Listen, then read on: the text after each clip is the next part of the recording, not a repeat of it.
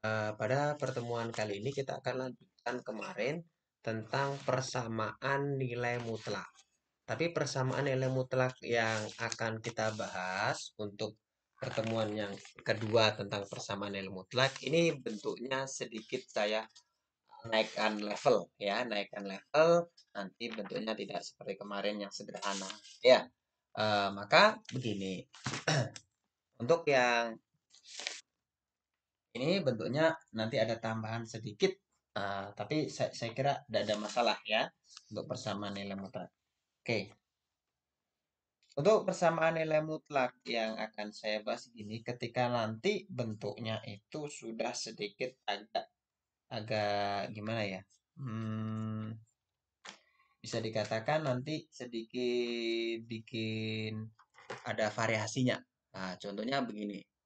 Uh, nilai mutlak ketika ada bentuk nilai mutlak 2x min 7 uh, ini sama dengan misal dia itu 15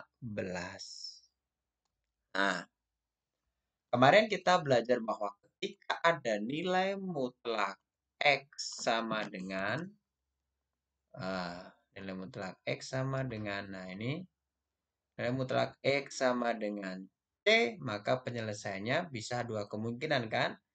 X sama dengan C atau min X sama dengan C. Nah, ini perlu digarisbawahi, perlu diingat-ingat kembali. Nah, ya kan? Oke, itu.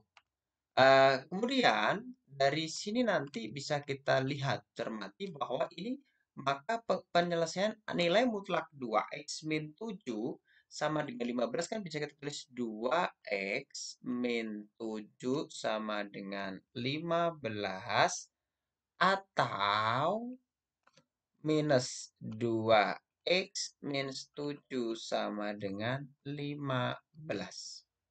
Nah, ini.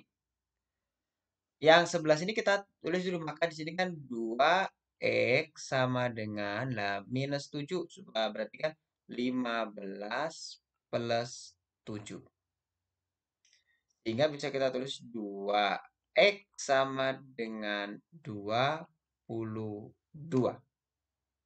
2X ini kan perkalian jadinya X sama dengan perkalian pindah ruas jadi pembagian. 22 per 2 sehingga X sama dengan 11. Seperti itu.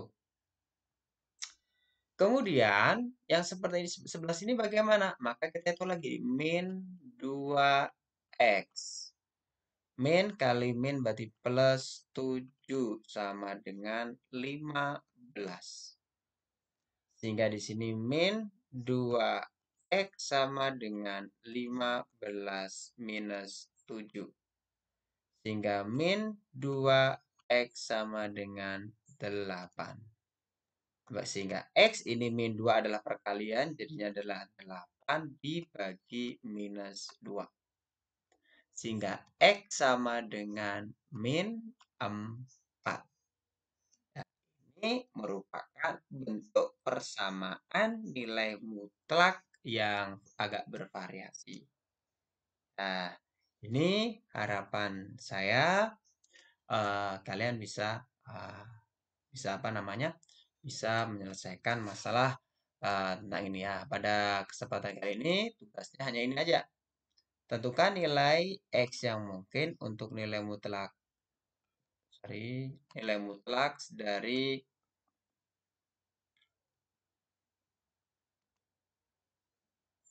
empat x minus 8 sama dengan hmm, 32.